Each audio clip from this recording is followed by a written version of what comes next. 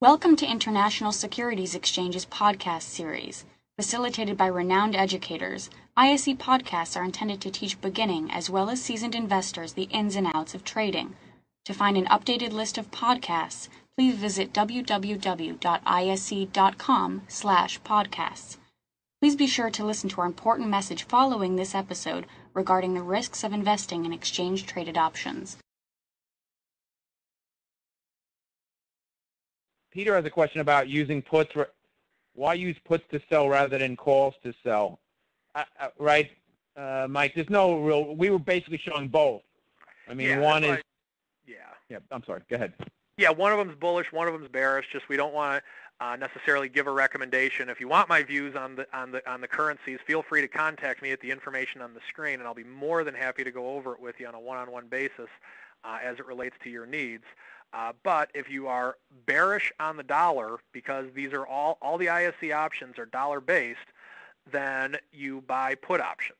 If you're bullish on the dollar, then you buy call options, so to speak. So that's, uh, we just wanted to kind of show a little bit of both. Uh, Claude wants to know if you have a Skype number. Do you, Mike? Uh, I do not have a Skype number, actually. So I kind of, actually, maybe I- via.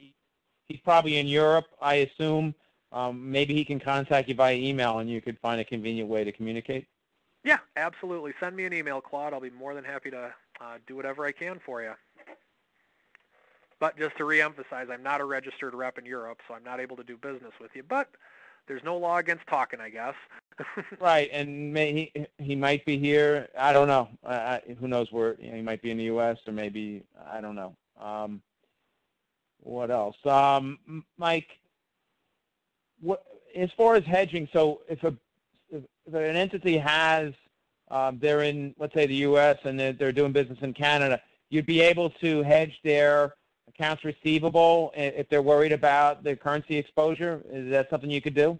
Absolutely. Like, let's say, for example, that um, let's say that you uh, sell waders. Waders are the, those long pants that you wear when you go fishing, and you're in the U.S.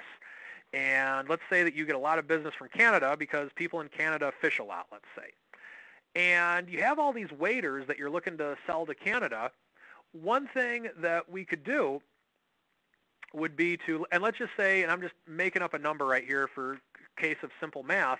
Let's say, for example, that you have, um, and let's actually bring up. Oh, but I lost. You know what? Let, let's let's send them all to Europe. Actually, we're going to send our waiters to Europe. Sorry for the bad example, but I, but, I, yep. but I'm using it because we we have the euro price fresh in our minds. The euro, is know. tr- the EUI was trading at 70 approximately, and let's Right. say you have seven thousand dollars worth of waiters and you're concerned that between now and the day that you're going to sell all those waiters because you have a big order coming in for $7,000 in another month and a half, you're concerned that the value of the US dollar is going to tank against the euro. Well, if that's the case, the simple solution to it would be to buy an option to hedge that. So that way, if the US dollar tanks, then you can buy a put option on EUI, and that's just a simple way of doing insurance. Now, and you can buy it for a month and a half out. And basically what you're doing is you're buying price insurance to hedge any currency risk that you have. Now, let's say that you want to get a little more complex. Obviously, you can do that when you're taking into account volatility risk, premium risk, and that type of thing. Uh, that those are ways with which we hedge people and help people along those lines. Fascinating, Mike. I mean, you know what it is? That's great.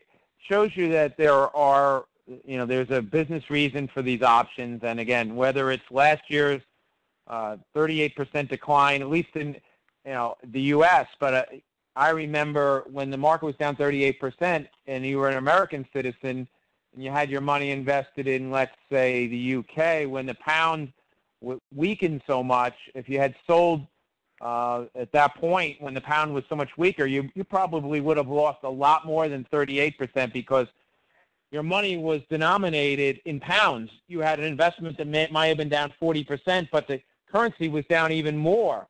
So you might have lost 50% last year. Uh, you could have probably helped that investor, correct? Yeah, and that's something that we focus on. It's uh, currency risk is very real, folks. And uh, you know, Steve and I have done webinars on this in the past. Uh, just how the currency can affect the price of oil. It affects everything in your life.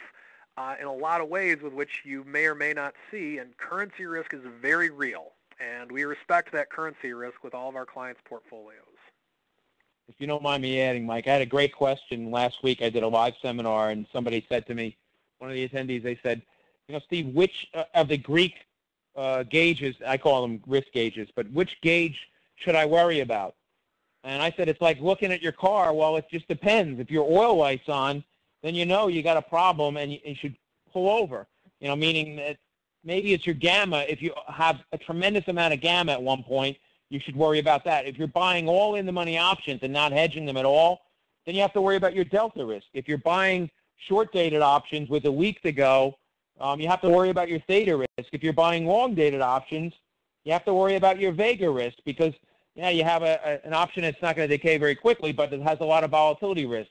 So each option has its own risk, and you know, I, Mike at Know Your Options can actually help you figure out in your portfolio. You know, you probably you might have too much risk in one area, uh, and Mike may be able to reduce that. Correct, Mike?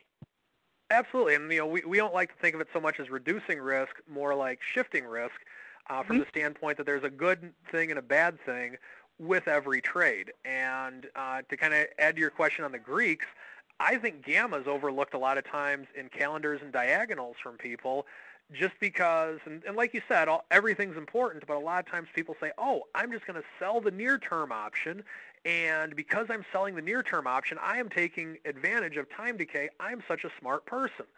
Not so fast. You still have that gamma risk because as that underlying, as EUI, as YUK, BPX, the Swiss franc, the Canadian dollar, the Aussie dollar, or whatever other currency you're looking to trade, as that gets closer to that short strike price, you have all that gamma that's working against you, meaning the delta increases, but it's increasing against you. Thank you for listening to our podcast. To find more podcasts on options, stocks, alternative markets, and market data, please visit www.ise.com slash podcasts.